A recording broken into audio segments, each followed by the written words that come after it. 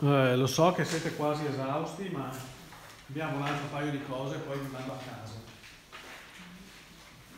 Alle vostre famiglie, alle... cosa deve essere Un'altra cosa che, di cui non abbiamo bene tenuto conto, adesso specificando il problema,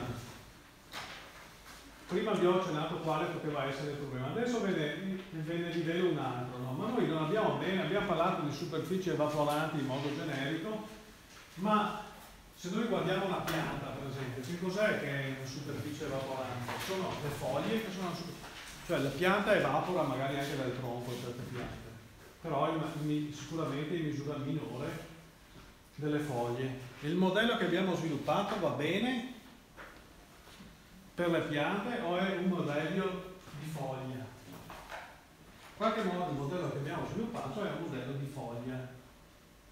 Ho fatto un modello, se lo coniugo all'idea delle piante.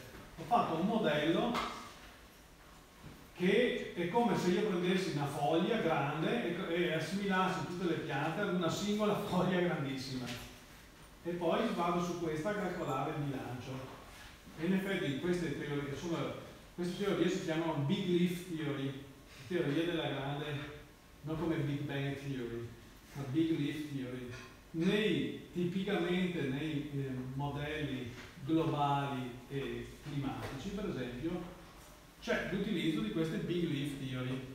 Quindi ho fatto RS, vedete, varie eh, radiazione ad onda lunga che va dentro, radiazione ad onda lunga che va fuori. Io uso dei termini diversi.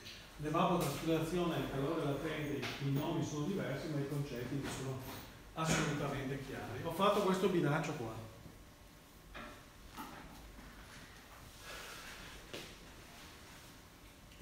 l'altra cosa, l'altra semplificazione che compare è che, cioè io in un landscape, in un paesaggio ho tante cose, ho dell'acqua libera in superficie, ho delle piante, ho delle piante alte e delle piante basse, perché distingo tra piante alte e piante basse? Perché un elemento sicuramente di, di tutta la questione delle resistenze, l'unica cosa che noi sappiamo è che per esempio la resistenza aerodinamica dipende dall'altezza della, della vegetazione della scabrezza del mezzo no? rispetto al vento. E allora per esempio una prima semplificazione semplice che si fa è dire, beh, distinguiamo tra piante e erba. Entrambe traspirano, ma la prima ha una resistenza, una scabrezza di pochi centimetri, gli altri hanno una scabrezza di metri. Quindi i coefficienti di resistenza cambiano. L'altra cosa, posso avere del suolo nudo, cosiddetto bare soil in inglese, se vedete bare soil non è, eh, eh, ci scrive bare tra l'altro, non bear come orso, cioè il suolo, il suolo di suo evapora, però se guardate lì, lì fuori, per esempio fate un po' fatica a distinguere dove c'è soil e dove c'è invece erba e vegetazione, è tutto misto, quindi quando voi andate a calcolare lì dovete un po' mettere insieme la porzione che pensate derivi dalla traspirazione e la porzione che pure pensate derivi dal suolo. Poi qui Michele, che è stato cosa, ha messo anche, ci sono anche, vabbè, ci sono delle parti urbane, cosa sono le parti urbane? Basta che guardiamo fuori dalla finestra, avremo delle parti, per esempio tipo l'asfalto, su cui si formano delle pure delle superfici d'acqua, che ha delle sue modalità di evaporazione. Quando noi andiamo sul territorio a calcolare, dobbiamo fare l'upscaling si dice, dal punto alle aree dell'evaporazione dobbiamo tener conto che ci sono tutte queste porzioni di area, ciascuna delle quali ha una sua dinamica differente e noi le dobbiamo mettere insieme. Allora lui che è un noto, supponiamo un noto remote sensor, cioè uno che gli piacciono i satelliti, tipo lei per, come non so, magari qualcuno tra di voi c'è, che ama queste cose, eh, il, cioè allora dice ma poi tutte queste robe qua io le vedo dal satellite e allora per esempio e c'è tutta una parte di sviluppo della ricerca che va a vedere appunto come separare le varie superfici in funzione per esempio di una classificazione di questo tipo e poi su ciascuna delle superfici applica i coefficienti e i parametri opportuni.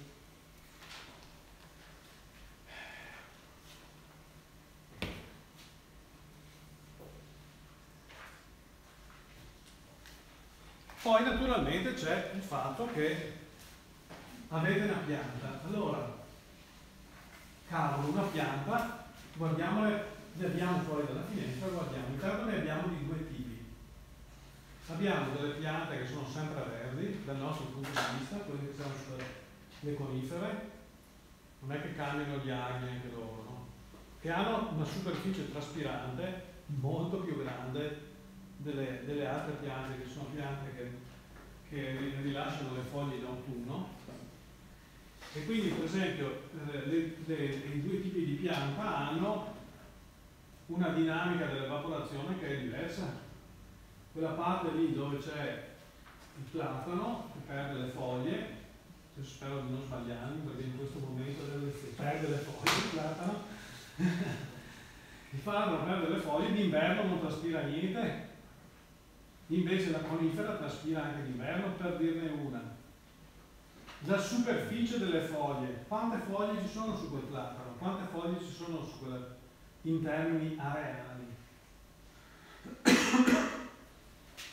Beh, su una conifera ci sono molte più. Eh, c'è una cosa che si chiama leaf area index, che significa eh, superficie eh, delle foglie, indice di superficie delle foglie, che è quanta superficie di foglia c'è sulla proiezione della, eh, della, chioma di un albero, o canopy come si chiama in inglese, come è chiamata la, allora, quant'è lì fare index di una conifera? Lì fare index di una conifera può essere anche 12, vuol dire che ogni metro di pianta ci sono 12 metri di superficie di fogliare. Una, una, una, latifo, una pianta latifoglie come, come, come, le altre può avere 3-4 di, di fare indice, cioè lei, voi misurate la superficie, c'è la superficie fogliare rispetto alla base 3, 4, 5 volte. Allora diciamo, ma adesso ogni foglia noi per ogni foglia possiamo scrivere lo stesso bilancio di energia che abbiamo considerato finora oppure no?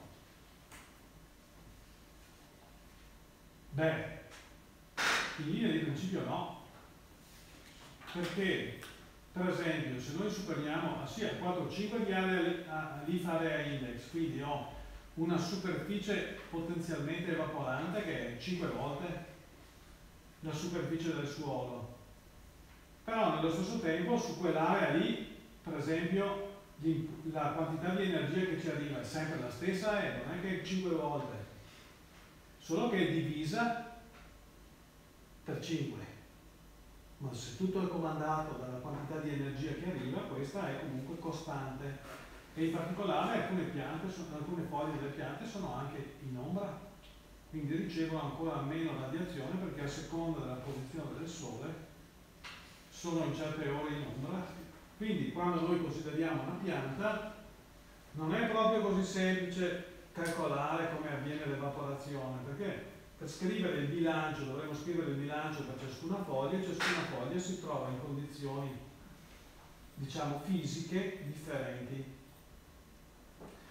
Fare questa operazione si chiama upscaling del nostro modello, del nostro Big Leaf Model, e allora esistono dei modi per, per esempio, calcol calcolare qual è la parte di, eh, di, di, radiazione che avviene, che colpisce la nostra pianta. Lì vedete nella sostanza della nostra pianta, che potrebbe essere una quercia in quel caso, che in questo caso potrebbe essere sia sempre verde che, che, eh, che perdere le foglie.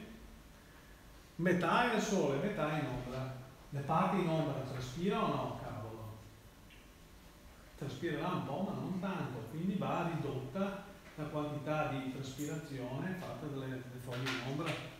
Può darsi che poi dentro all'interno la pianta abbia dei meccanismi di ridistribuzione per cui magari l'apertura degli stomi è fatta in modo differenziato, dovuta all'evoluzione delle piante, ma questo io in questo momento francamente non ve lo so dire. È ragione per cui ci sia un equilibrio, un, un, ci siano delle de, degli equilibri che si vengono a generare all'interno di una, di una stessa pianta, per cui da alcune parti alcuni stomi si chiudono, altri si aprono di più e così via, per mantenere un certo equilibrio comunque idraulico all'interno della pianta. In questo caso l'upscaling delle nostre teorie si dovrebbe fare attraverso una teoria che tiene conto del bilanciamento insomma, che l'organismo che è la pianta fa rispetto all'evaporazione, che è una cosa non affatto scontata ed è uno dei temi presenti, per esempio ci sono delle teorie di ottimizzazione. Per esempio una delle prime cose che, queste sono eh, delle, delle, cose, vedete eh, ci sono delle varie calcoli allora di come potrebbe essere l'evaporazione. Quello nero che quasi non si vede è l'equazione di Pemma-Montiz. Quello in blu è l'equazione di Priestley-Taylor.